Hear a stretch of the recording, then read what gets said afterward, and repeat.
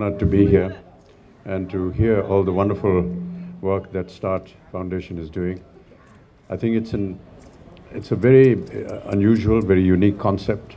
Um, through painting, through art, on public buildings, on streets, on the various uh, corners of this country, to be able to express um, more than just words uh, through artwork on issues which um, are important for the nation, which plague the nation, plague society, issues of morality. I think they have a greater impact rather than having somebody speak about them. So many congratulations for this.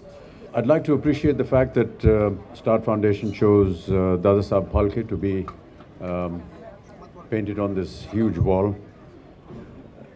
It has a lot of meaning for this city of Mumbai in particular because Mumbai is also known, apart from several other accolades that it has, as the city of films, and the film industry of India is associated with Mumbai.